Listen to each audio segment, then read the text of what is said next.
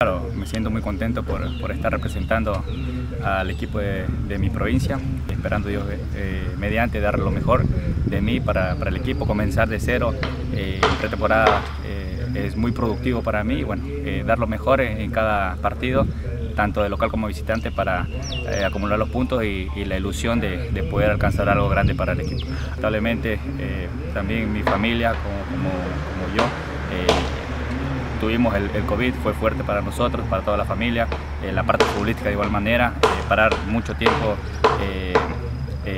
de, no, de no participar, de no jugar, fue muy duro para todos los deportistas y bueno, jugar sin público ha sido muy duro porque siempre el hincha te anima, te, te impulsa, te, te, da un poco otro aire, otro plus para, para, poder de local luchar por los puntos, bueno, ante todo eso nosotros tenemos que canalizar nuestras fuerzas y, manejarnos en los partidos para poder ganarlo, ganarlos y, sumar de tres. Mucho esfuerzo, mucho, eh, eh, muchas eh, energías positivas para poder ganar los, los encuentros, ser un grupo,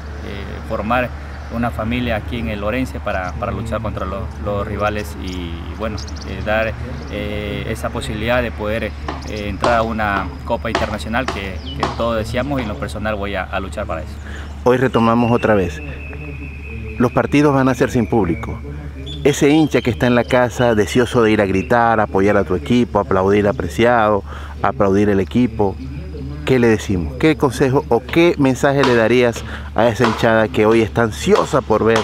al equipo orense ganar o participar en el campeonato? Por supuesto que nosotros vamos a entregar todo de nosotros en lo personal y en lo colectivo. Eh, estamos trabajando para eso, Dios mediante se nos dé todos los resultados eh, positivos para, para, poder alcanzar eh, logros y, y, bueno, la hinchada de, de Lorense